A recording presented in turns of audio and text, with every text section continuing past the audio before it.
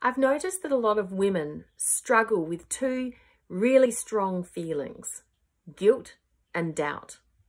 They pivot between these two feelings as they try and navigate their path or their journey. They feel guilty that they're not doing enough, guilty that they should be doing more, guilty that there's more that they ought to be contributing.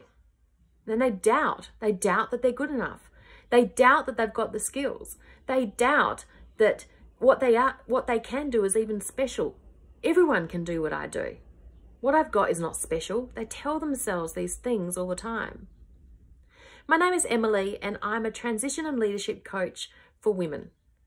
The Leap to Lead is my company and I specialise in supporting women who are in transition phases of their lives, whether stay-at-home mums looking to return to work or career women looking to make that next step to move into leadership.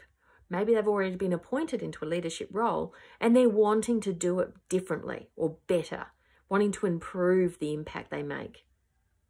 It's really important that when working with the clients that I have, that I help them to understand how their mindset can really become a barrier to achieving the outcomes and the results that they want in their lives, be it their personal lives or their careers.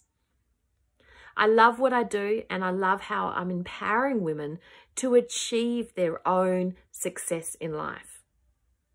Learn more about me and the coaching I provide at theleaptolead.com.